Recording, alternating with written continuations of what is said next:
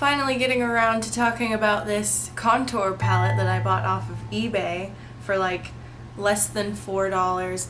I'm gonna link one of them down below. I don't think the one that I actually bought is still on eBay, so I'm gonna link down any of them that I can find and if this video is old when you're watching this and the link doesn't work, just search on eBay contour palette and then do low to high and you'll find a bunch of these after going through a few pages. They're like, some of them are a dollar something, some of them, some of them are like three dollars. Um, mine was like 3.49 or something like that. It's fucking fantastic. I can't, it's by some weird brand called Mother Home. It ships from China. Um, and there's hardly any ingredients. Pearl powder, Vaseline, color powder, white mineral oil. And the Vaseline makes it sort of creamy. Like they're the softest powders ever and they just look so nice. I would have actually done my contour on camera but I just sort of got lost in doing my makeup before this that I just forgot. Just swatch on my finger. There's the white, the yellow color, the medium color, and the dark color. Um, if you're pale, do not use the darker one unless you really want to, let me get this off my fingers, unless you really want to like deepen up your cheekbones or contour something like really contoured because it's really dark. This is the one I was using. I have self-tanner on now so I'm a lot darker than I was so I did use the darker one but I did a little bit and then I just sort of buffed it with the medium color.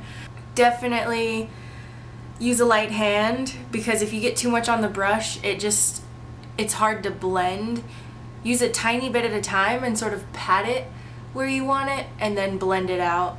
And um, yeah, so this is what's been making my skin look so glowy lately. Someone said I looked glowy. And I've also been applying my foundation with my finger instead of a brush. I feel like that's been making my skin look a lot better and on top of that I drink a shit ton of water now so drink a shit ton of water and find a foundation that you love and then uh, this thing oh god I cannot I've never had a really I've never had a contour kit at all so um, I have nothing to base this off of but for less than four dollars I I, just, I, I have no words anymore. It's, there's creamy and they smell sweet.